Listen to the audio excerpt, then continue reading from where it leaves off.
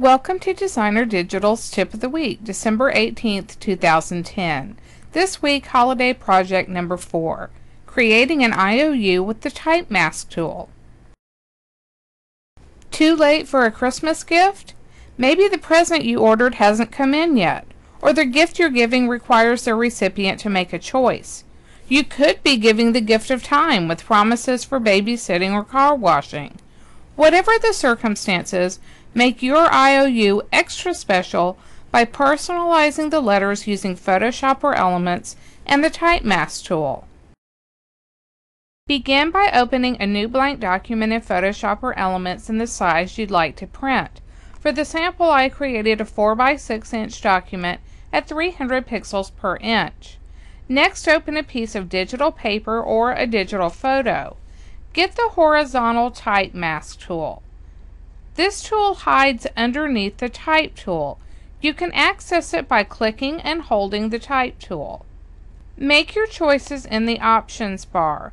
Choose a font, a style, and a very large size. For the sample I'm going to choose 200 point. Left click and position your cursor on the paper. You'll notice that the paper turns red and that shows you where the mask is. Type a letter or letters and click the check mark to confirm the type. Before you click, you can reposition to get your letters on the pattern where you'd like them. Once you click the check mark, it makes a selection of the text. Now you can get the Move tool and position your cursor inside the selected letter. And then click and drag your IOU onto the other document. You can reposition and resize your letters and then click the check mark to confirm the change. Finish the IOU card by adding embellishments, papers, and photos to your liking. Use your creativity to customize the IOU card.